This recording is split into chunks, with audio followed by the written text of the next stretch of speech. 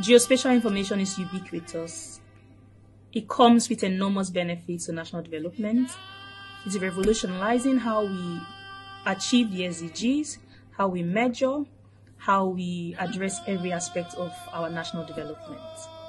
Let's start with food security. Geospatial insights through precision agriculture empower our farmers to make informed decisions about optimal planting locations, thereby enhancing crop yields and alleviating hunger in our communities. In the fight against poverty, geospatial data, geospatial information provide key insights for precise targeting, enabling the efficient allocation of resources to the most vulnerable. People that are separated by flood, communities that are impoverished, all of those. This invaluable data also identifies underdeveloped economy zones and natural resources, paving the way for strategic investments and job creation.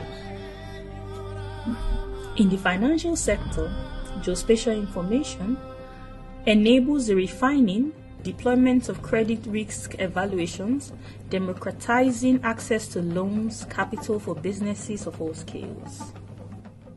Now, when it comes to security, real-time mapping plays a pivotal role, enabling law enforcement to be more strategically positioned and thus enhancing community safety.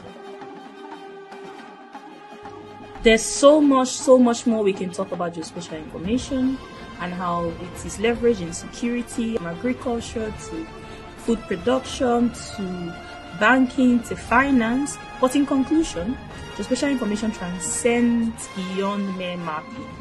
It is not just about making maps and creating maps, it serves as an all encompassing catalyst, propelling Nigeria towards a more prosperous and equitable future. The opportunity is within our grasp. Let's seize it.